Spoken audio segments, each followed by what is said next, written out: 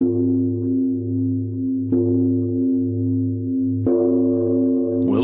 to One Mind Zen. Tonight's Dharma talk is given by Myung Jin and San. Here's one of the great, great, great opening lines of all time. Better than Call Me Ahab, better than it was the best of times, it was the worst of times. Certainly better than that one. So here it is. Ready? The great way is not difficult for those not attached to preferences. I'll say it one more time. The great way is not difficult for those not attached to preferences. Now, as far as I'm concerned, I could do the whole mic drop, you know, goodbye, good night, there you go, uh, because that sums up, that one sentence sums up Buddhahood. Of course, Sengcan, the third patriarch, who wrote this Zhen Jin Ming, went on for a few lines, longer than that, but, you know, as far as I'm concerned, he nailed it in the first sentence. But I'll give you some other ones that uh, he decided to write down for us. When not attached to love or hate, all is clear and undisguised.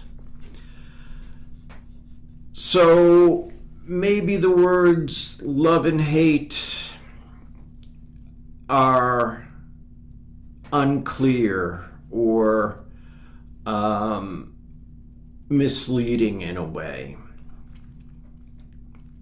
Hate's pretty dead on. Love, however, is the attached sort of love. Remember, the great way is not difficult for those not attached to preferences. So if you're not attached to love and not attached to hate, then it's all clear. And the word attachment is really key in this whole thing.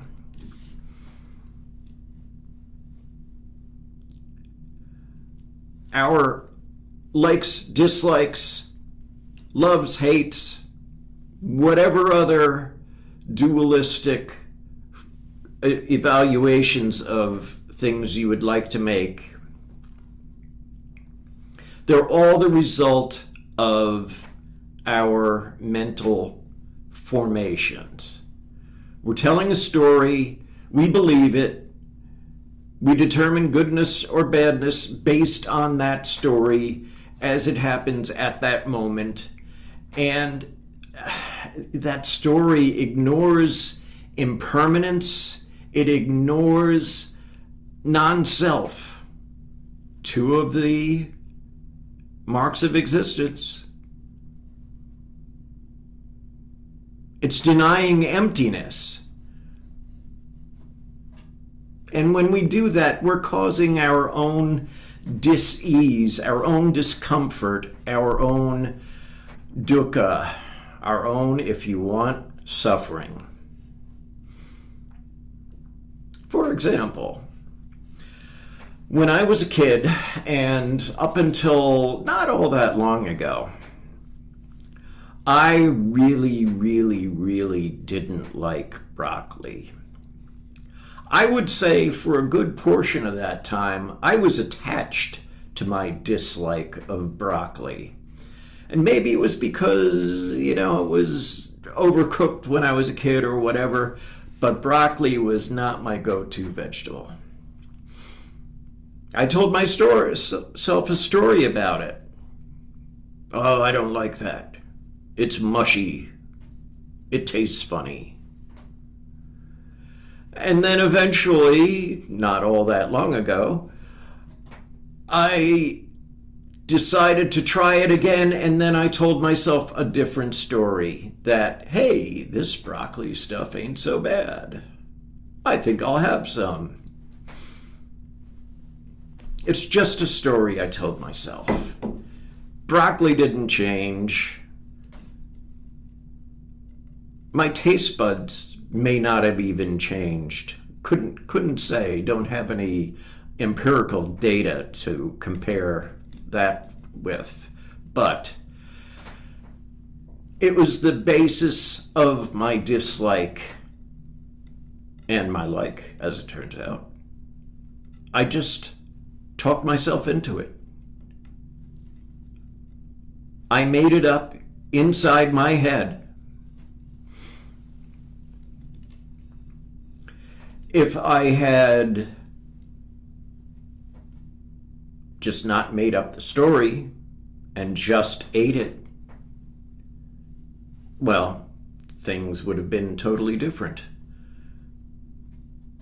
We all know those those statues of the Buddha. You know, totally peaceful, serene, uh, sometimes even with a little quarter of a smile on the lips. And that is what demonstrates equanimity, right? It's not easily fazed one way or the other. Winds come, winds go, rain comes, rain goes, doesn't matter. Rain is rain, wind is wind. It's all good. if we maintain that mind of equanimity by not being attached to our preferences, then we know the nature of the Buddhas. We know the great way. because it says it right in the opening line. The great way is not difficult for those not attached to preferences. It talks about equanimity. It talks about the um, non dualistic approach to day to day life. Zen Master Seung Sahn uh, you know, it's one of those things that you know you would say, well, he wrote this book, and we all know that that just wasn't the case. It was, you know, somebody who transcribed them and you know his talks and whatnot and and compiled it into a book but we'll we'll use that anyway he wrote a book called to want enlightenment is a big mistake.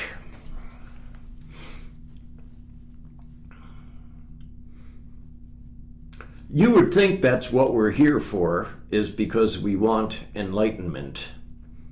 However, according to Zen Master Seung Sahn and Sengsan, third patriarch, the fact that we're grasping at this thing called enlightenment rather than just maintaining the equanimity is the source of our ignorance, our delusion, our suffering.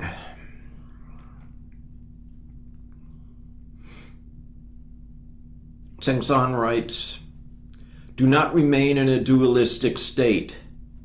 Avoid such easy habits carefully yeah, it is really easy to, to tell ourselves these stories. And yeah, I don't like the left wing. Oh, I don't like the right wing. They're wrong. They're right. And not to be cynical about it, but there are those who say that you know, that's kind of just two sides to the same coin, but not even going down that road. The attachment, the attachment to the rightness and wrongness of leftness and rightness is where the problem lies. The arising of other gives rise to self. Giving rise to self generates others.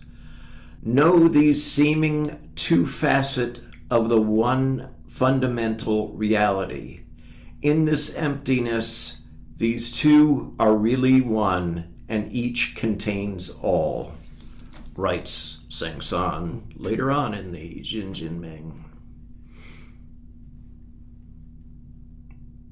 Ming Hui lately has been giving talks that that involved the notion of uh, the lack of difference, even uh, when all around us have their hair on fire, saying how different this is from that.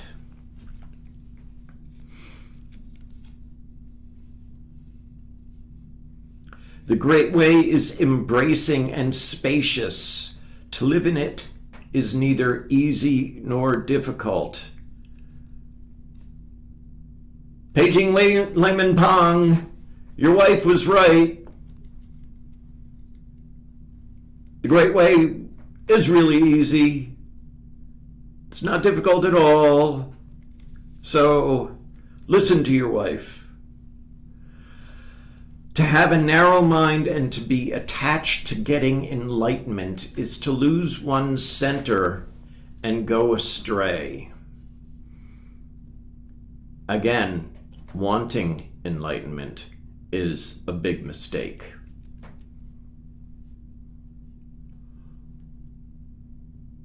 Not enlightenment is a big mistake.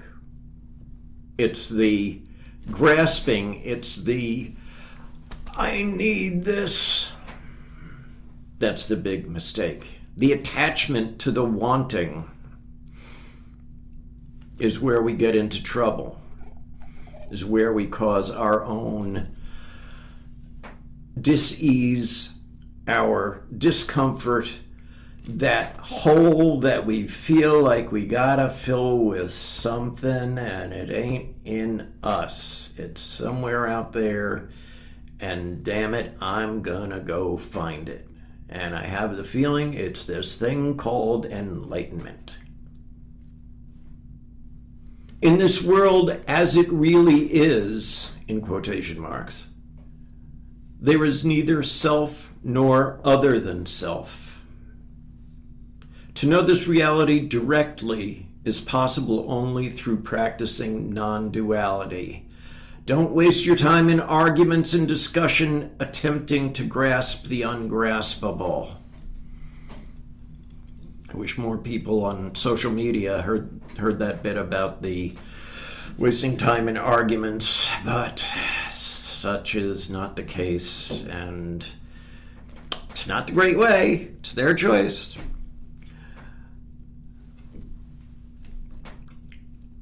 To know reality directly is possible only through practicing non duality. What is Zen practice if not the direct experience of reality as it really is? Right? That's what we're supposed to be doing. We're not supposed to worry about enlightenment or not. We just directly experience everything as it is, as it happens, as it comes and goes. And that's our practice. Without being judgmental about this coming or that coming. To put your trust in the heart mind, Jin. Side note, in Chinese, the word Jin refers to this thing called heart mind, in which case the brain and heart are not two separate entities, hence the Jin, Jin Ming. To put your trust in the heart mind is to live without separation, and in this non duality, you are one with your life source. Sengsan keeps driving it home. No separation. No good, no bad. Seung Sahn and, and Wanji Dharma would always say, don't make good and bad. And I think the word make might be the key one in there. And I might add, and if you do, don't become attached to that judgment. Because that's not the great way. You can like and you can dislike, and it's fine. But to be attached to that like, to be attached to the hate, to be attached to the good and the bad, is not the great way. And I've given a talk on the Xinjin Ming at least once before. I even did sort of a colloquial retranslation of uh, Richard Clarke's translation. Uh, I think it was called the It's All Good Ming.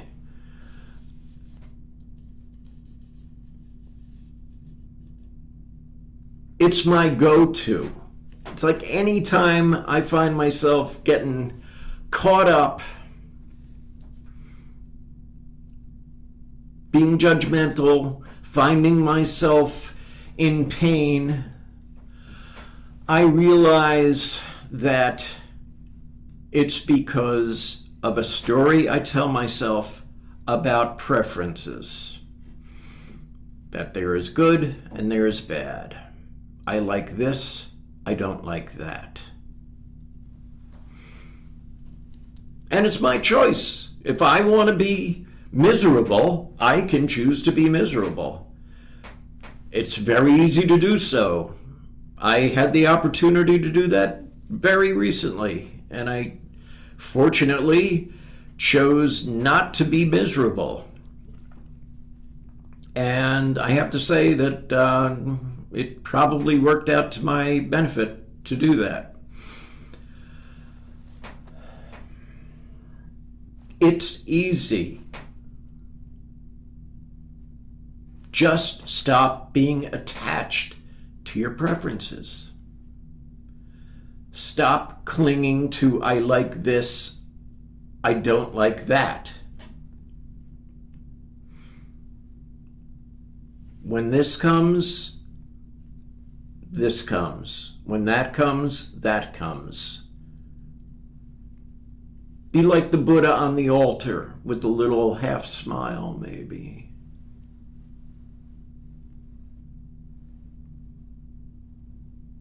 And it's our choice. We were already told that the great way is easy. And if we're not finding it easy, we should take a look in our practice about what it is that might be the hindrance. And then we can go out and practice for the benefit of all sentient beings.